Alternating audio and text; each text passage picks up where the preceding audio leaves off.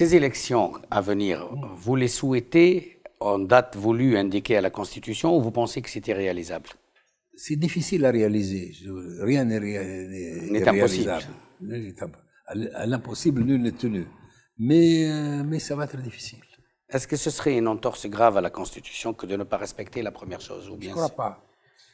Il vaut mieux avoir des élections aux normes internationales que des élections bâclées, des élections où tout le monde va contester après